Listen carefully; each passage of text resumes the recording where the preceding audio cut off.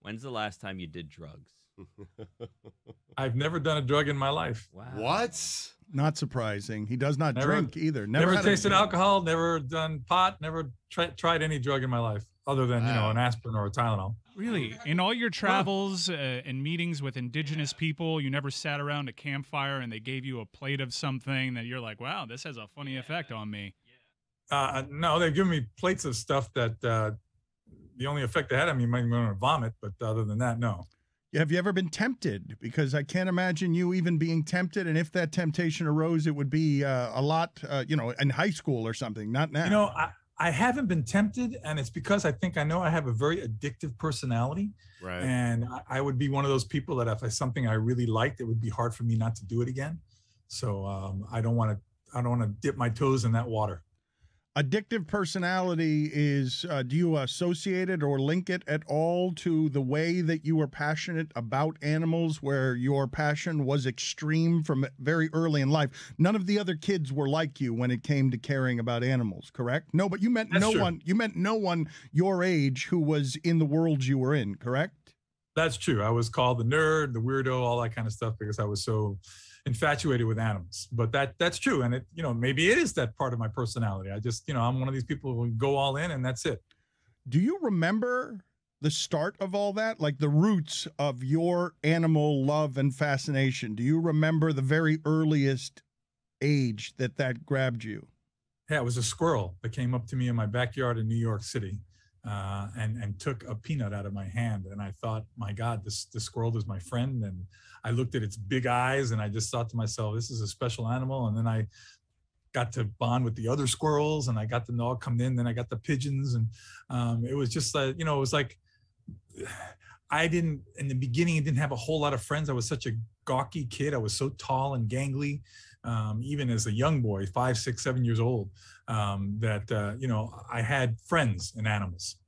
The squirrel, was that a process or the first time it came and grabbed a peanut, or you were trying to lure it, tempt it over time?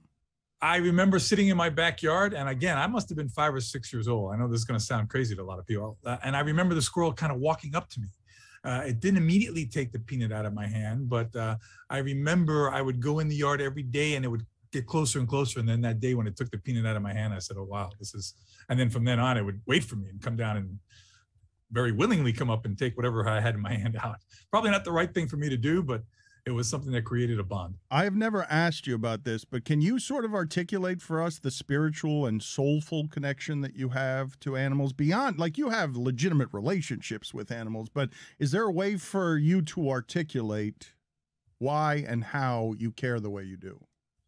You know, the way I can put it in, in, in terms that everybody I think can relate to is anybody who's had a dog, you know, you you leave all day for work, all day, and you have a miserable day at work, and your dog is home alone all day. Uh, and instead of when you come to the door, the dog looks at you like, I can't believe you left me home all day alone. That dog comes up to you like you're the greatest thing that's in its life at that time. I always say to myself, I want to be the person my dog thinks I am. Um, well, you get that from animals in general. I think animals have this this sense about knowing good people. You know, I, I'll tell you, uh, there's a bunch of people that have said, you know, I don't, uh, I don't trust people who don't like animals. If somebody says to me, I hate animals, I hate, that's somebody I've got to keep an arm's length from because it just frightens me. I just think I don't know how you can be that way. Um, you know, I, and I understand people have had some bad experiences with animals, but I, I hope they also understand that those bad experiences probably stem from bad experiences presented to those animals by people in the first place.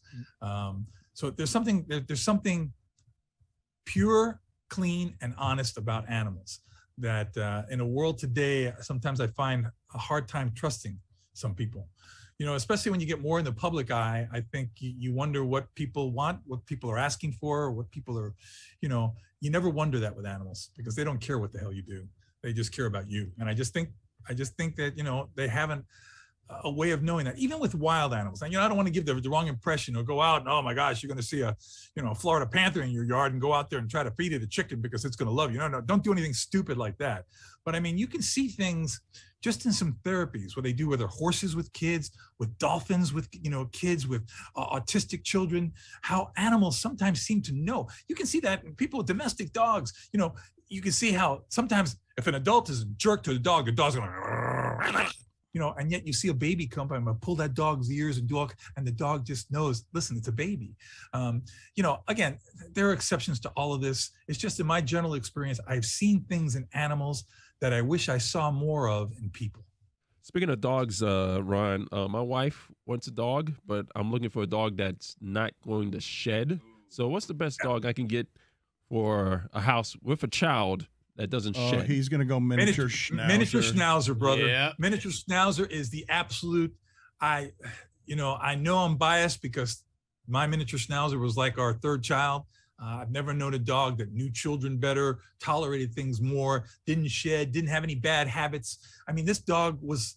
My, my wife kept saying, I'm looking for the zipper to take the fur off to find the little boy inside. Um, that dog, a good miniature schnauzer, is one of the greatest dogs you could ever have. Ron, which animal do you imagine would most like drugs? Any animal What do you mean? Like drugs.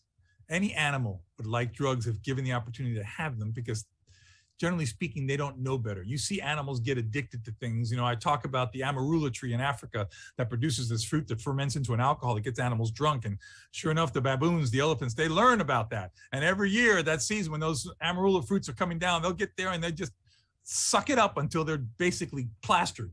Um, so that's a drug. You know that that once an animal can learn to to get that feeling, it's it's just a natural, I think, a natural response. You want more, so you get addicted. Ron, in ancient Roman mythology, Romulus and Remus were raised by a wolf. So going back to the topic of of dogs being part of your family, would it be possible for a wolf or a dog to raise babies as their own and and like add them to their pack? Well, logistically, no, unless that baby was already weaned, because the carnivore cannot produce the type of milk that would sustain a baby, an infant. Um, the wolf would not produce that, that that milk needed for the infant. Now, if it was to find a child that had been weaned and was already on solid foods, um, I've seen stranger things. Uh, I'm not going to say that it's that it's impossible. It's improbable, but I'm not going to say it's impossible that it could be taken into a pack and fed and brought food, and the, the, the child could learn to feed. I know that's been taken to extremes in some films, but um, I do think that there is a maternal instinct in some animals to adopt things. I've seen that with lions and antelope that they eat. You know, an antelope, unfortunately, they, they couldn't feed the antelope. Okay. They, they, they protected the antelope, but they couldn't feed, and the antelope ended up starving to death. Um, but the maternal instinct was there to protect the antelope, to, to be next to it all the time, something that they normally would eat. So, you know, animals, I think, never cease to surprise us. Ron, I read that the oldest male gorilla in the world passed away yesterday at the Atlanta Zoo. Um, it was 61 years old. My question would be how do the aging process of animals that get that old mirror ours? Almost exactly the same. You know, you start doing things like you might start losing teeth. You get a tooth infection that can lead to, you know, a fatal disease. You start losing your eyesight. You lose your your reflexes, your instincts, your strength.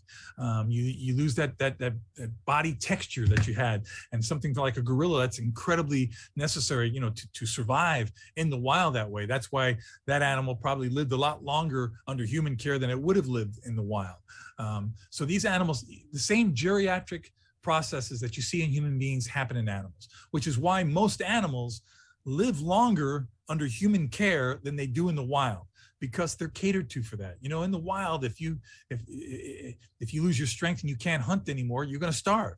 But in human care you presented the food. You're catered to that way. You provided medications to help you know ease pain for extreme arthritis which is something that's very common in animals uh, that can be debilitating and in fact fatal in many many instances. So you'll you'll see the same geriatric processes in animals as you see in humans. What you don't see is you don't see animals um, reflecting those things. They don't demonstrate pain. They don't demonstrate um, you know being compromised out of instinct. They'll disguise those things because they know once they show that they're going to be predated on by something else. They're going to be outcompeted by something else. So by the time you see an animal in the wild having a bad limp or, or being slow and not having a, it's usually very far along in that degenerative process I want to read something to you from the New York Times. A female monkey in a nature reserve in Japan violently overthrew the alpha male of her troop to become the first female leader in the reserve's 70 year history. She presides over 677 monkeys, but a messy love triangle could endanger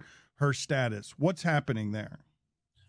Well, uh, you know, uh, the female of all species is starting to, uh, well, not starting to, in many ways already for a long time, has understood that you know they're they're just as powerful, just as important, and uh, many times have the ability to lead as well or better than males. And um, this is something that is, I think, being found across species lines.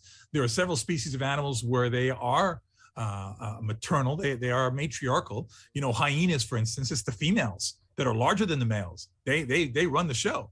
Birds of prey, it's the females that are larger than the males. They they're the ones usually just make the, the big decisions. Um, you know, so to see this in a primate now, it's not terribly unlike what we see in humans. You know, for the, for too long a time, I think that uh, females were were not given the equal credit that that they deserved as as, as, as men get the credit. Um, and perhaps you're seeing this evolve now and, and some of the lower species of primates also. So this is something that I think is just, it's an evolution of survival, the survival of the fittest, which not doesn't always necessarily mean the strongest, but it could also mean the smartest. Intelligence uh, is just as important as strength. Fascinating. Put it on the poll, Guillermo. Did you know that the Me Too movement had arrived in the monkey kingdom as well? Ron, have you heard about hamsters in Hong Kong where they're rounding up hamsters and killing them because one of them tested positive for COVID? So now they have kind of like it sounds like a secret underground situation where people are fostering hamsters to keep them alive. I had not heard about that. No. It seems to be an extreme knee-jerk reaction to something, um, but you know, again, p- panic is one of these things. Panic, misinformation, being misunderstood uh, leads to these kinds of tragic responses. Um, I hope it's not something that uh, will continue. Um, but you know, the fact is, animals do, uh, are able to get COVID. Uh, we've seen that in several species. But um, you know, what would be that thought process if people thought that about human beings? Guillermo, put this on the poll as well. Are animals more pure, cleaner, more honest, and better than humans? I want to get to Ron Magill's top Well, five. that last one, better than humans. Nah, that, that- take that word out. Leave the rest in there, and I think the poll would be incredibly one-sided. I mean, they lick their butts and their wieners. I mean, well, and you would do the same if you could. I would, you're right. I You- can't you- reach. I you- tried. You, more I than uh, most. You more than most. And Joe Rogan says he could.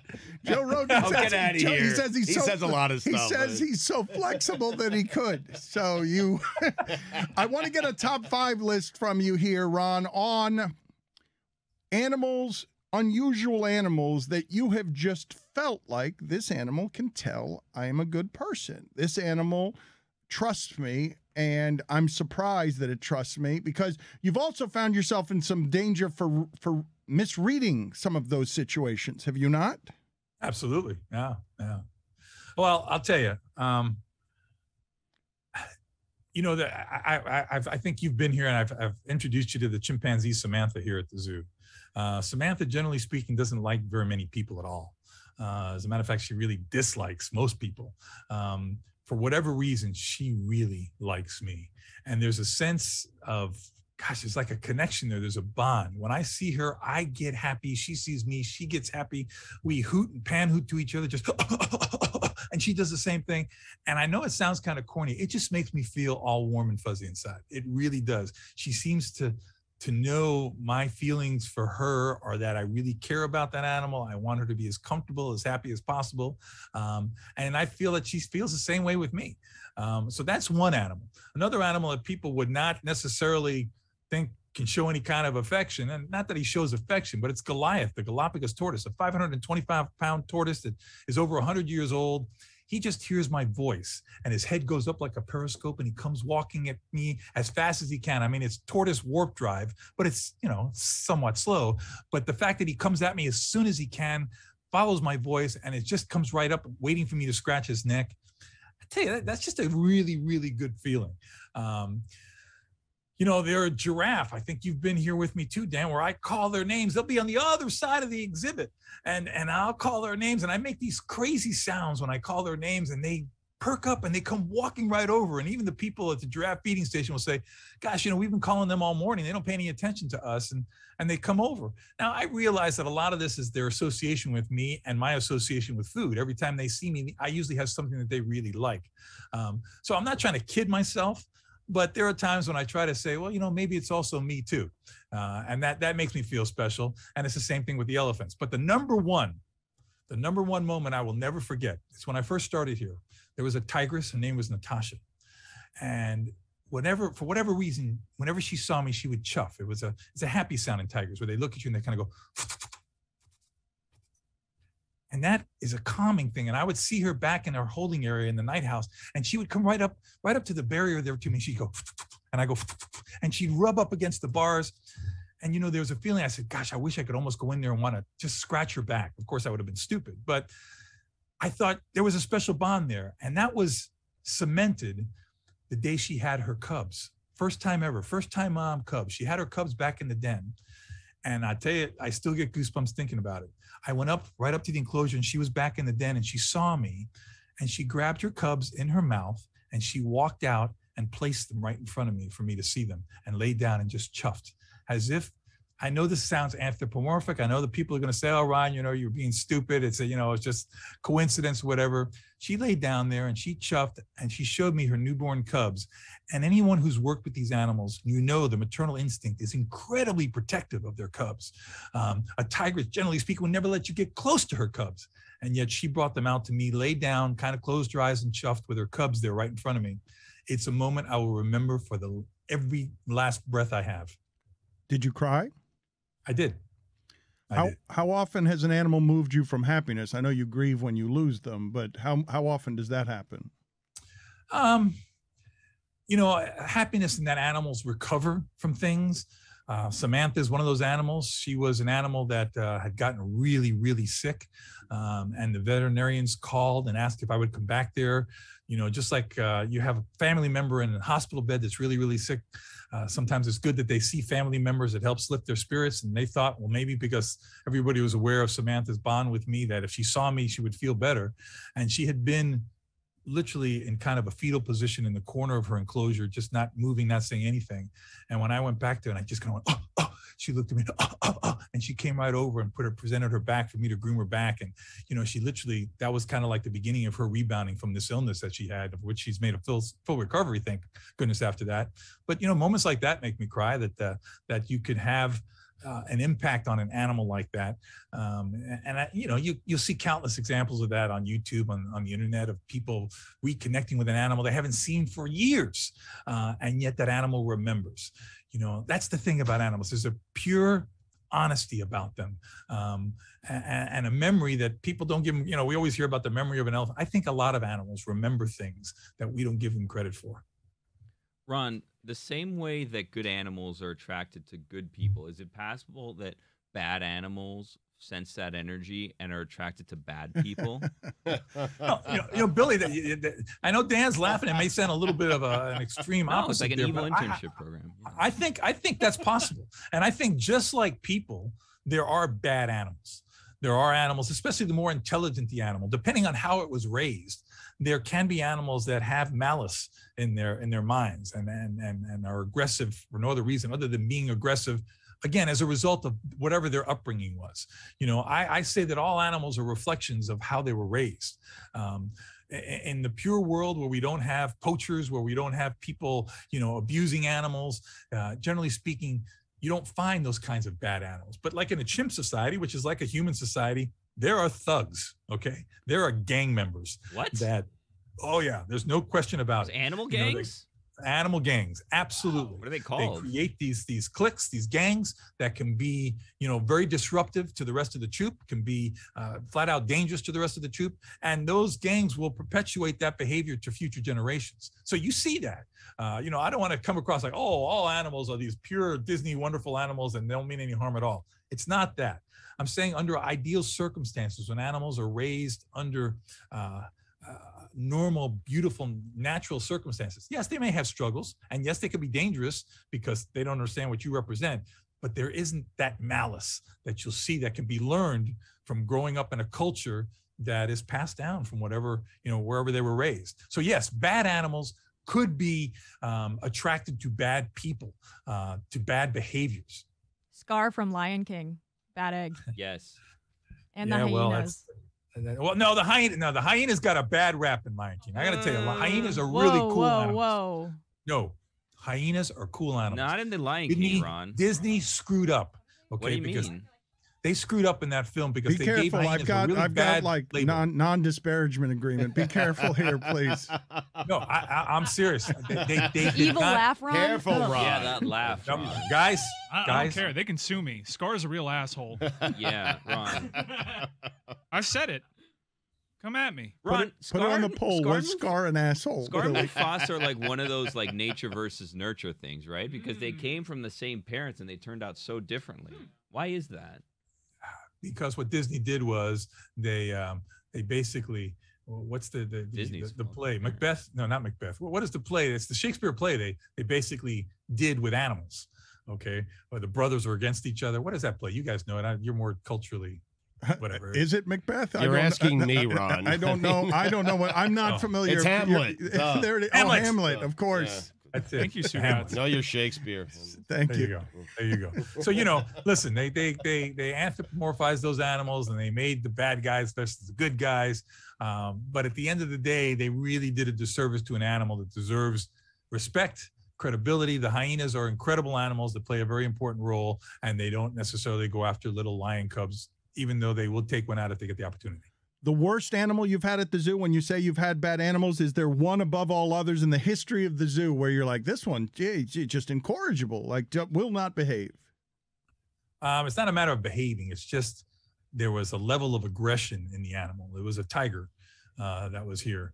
Um, that was, you know, we knew, we knew that if that tiger were ever to get access to somebody, he would he would kill them instantly. He was an incredibly aggressive tiger, a male, big male, very territorial, very defensive of the of the area that he lived in, and uh, you know, you you didn't even hesitate to think for one moment that uh, you know he wouldn't be so bad. No, no, no, no. That, that I remember that tiger very well. As a matter of fact, I would get shivers up my spine when I walked by the front of the exhibit and the way he looked at me across the moat. Um, that was something that would, uh, yeah, it would put the fear of God in me. Not to bring it back to the Lion King, but just to close the loop. So hyenas got a bad rap because they don't attack lions, but they would attack lions if they could attack lions. hyenas will fight lions to try to get food um, but they don't they're not just scavengers in other words uh, you know there are times when a hyena makes a kill and it's eating and lions come and beat the crap out of the hyena and the hyena runs away because he doesn't have enough backup. And there are times when one lioness may make a kill and there's a whole clan of hyenas and they'll go in there and say you know what? Tit for tat and they'll go in there and, and chase that lioness off the food to get the food. But it's not they want to kill the lioness they want to remove the lioness as a form of competition. It's all about competition survival of the fittest. What i'm saying is they're both adept predators. Uh, they both deserve respect in their own way. Um, but yeah yeah to your point a hyena will kill a lion if it has the opportunity but lions will also kill a hyena if they have an opportunity so what makes one worse than the other Guillermo also put on the poll, do you know why it's tit for tat? Do you know oh, what those things are and what that means? I've got two more questions before we get you out of here. You mentioned anthropomorphic and the idea that the What? chimp perhaps would be uh, you know, food interested, or any of these relationships would be food interested. But you also made the point there are plenty of that that same chimp. Other people have food, and that chimp's not nice to those people who have food. Correct? Like it's not it's not just food in your case. You've seen something else, different behavior. That's a good point. No, you're, you're right, Dan. There are people that that chimp hates whether they have food or not, um, and and whether I have food or not, uh, she seems to love me. Um, she doesn't get necessarily disappointed when she sees me and I don't have food. Um, whereas you know she'll throw crap at other people. Um, she, she she really it's a special animal. Special Actually, throws feces at other people. Um, well, I don't know about feces, but rocks and whatever she can get a hold of. And let's close this out. And again, a reminder this man cares deeply about the animals. You know this already after all these years, but also across the decades, but also he is someone who no bureaucracy. The money that you donate gets to care for the animals without any interference. So support his endowment where and if you can. Close us out with the sound that you make for the giraffes to come running over.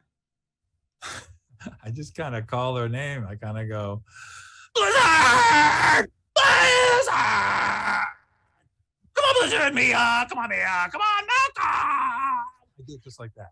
So it's a way that nobody else can really look like an idiot doing it. So they immediately associate that. I'm, I'm glad that was entertaining for you. Guys. Thank was, you, thank Ron. you. Thank you. He speaks to the animals. He's a modern day Tarzan. Also, Mike Ryan left the studio while you were talking because he's uh, Meadowlark is now in negotiations for the movie rights of a pet that you uh, take a zipper and a child is inside, a little dog. Uh, we're in talks with Marlon Wayans right now, actually. Is that the running Yeah, title? that- I don't know what the title is going to be yet, but we're in negotiations. Thank you, Ron. Thanks, guys. Have a good week. See you, Ron.